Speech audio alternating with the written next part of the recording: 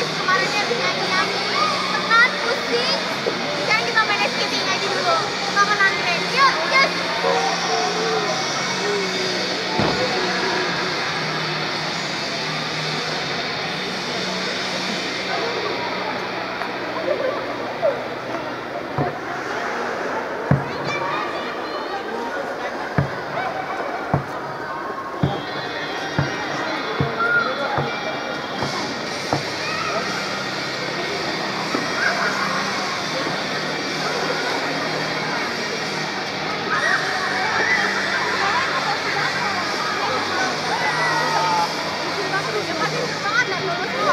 要不